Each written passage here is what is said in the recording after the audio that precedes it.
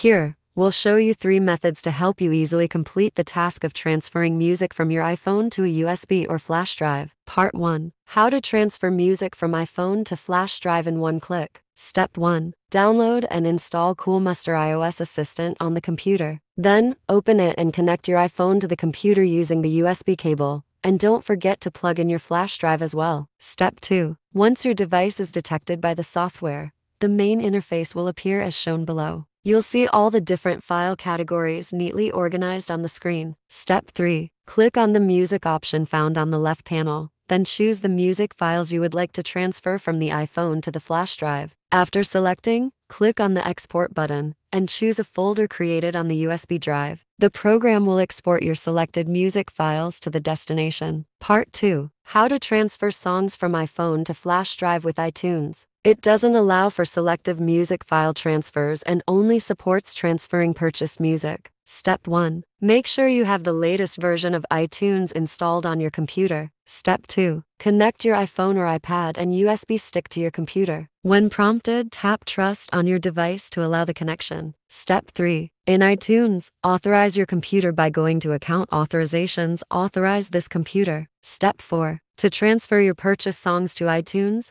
Click File Devices Transfer Purchases from your device name. Step 5. Visit the recently added section to view your songs. To download them to your computer, select the song and click the download button. Step 6. If the download button isn't visible, right-click the song and select Show in Windows Explorer or Finder on a Mac to locate the music file on your computer. Step 7. Finally, Copy and paste the songs from your computer to your external hard drive. Part 3. How to transfer music from iPhone to USB stick without computer. Step 1. Connect the Lightning to USB adapter to your iPhone, then plug the USB stick into the adapter. Step 2. Open the Files app on your iPhone. Tap the three dots to select the song S or playlist S you want to transfer then tap the copy icon at the bottom of the screen. Step 3. Return to the main files screen and tap on the USB stick under Locations. Step 4. Tap Paste to transfer the music to the USB stick. Once the transfer is complete,